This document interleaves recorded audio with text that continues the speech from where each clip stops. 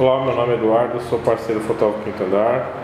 Vamos um apartamento de dois dormitórios aqui na rua Guilherme Tel, no Tabuão. Aqui a sala, piso frio, ventilador de teto. Entrando aqui nós temos a cozinha com móveis planejados, pia com gabinete, torneira, fogão embutido. Aqui junto é a área de serviço com tanque, espaço para máquina de lavar, aquecedor a gás, varal de roupas.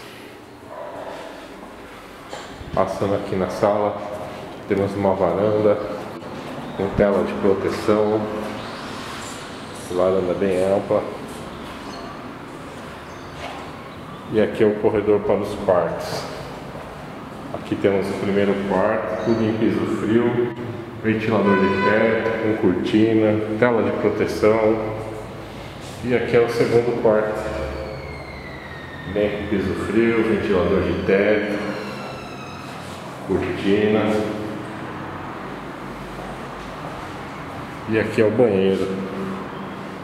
Com gabinete, espelho, box de vidro, chuveiro a gás.